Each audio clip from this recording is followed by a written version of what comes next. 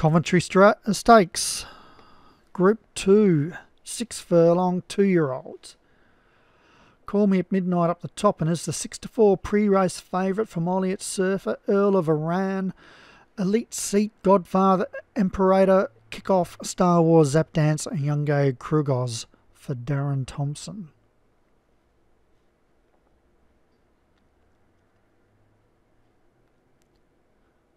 And they're racing. So don't blink. This will be all over and done with shortly. Youngo Krugos jump quickly, so too Zap Dancer and Imperator. And uh, also at the back there, Kickoff Elite Seat, Earl of Iran or Iran, Star Wars and Godfather. Four furlongs left to scamper. And Zap Dancer leads three quarters to Imperator. Two and a half, three back to Kickoff, Star Wars, Young Krugos. Uh, also, they call me at midnight, Earl of Iran, uh, Godfather, and Elite Seat up to the two furlong pole, and Zap Dance are still in front.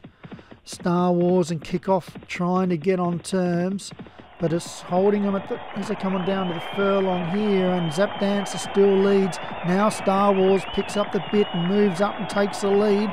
Young Gade Krugos has the last chance. Young Gade Krugos puts the head in front and draws away and wins from Star Wars. Godfather flew for third. Good to see we're sharing the winners around.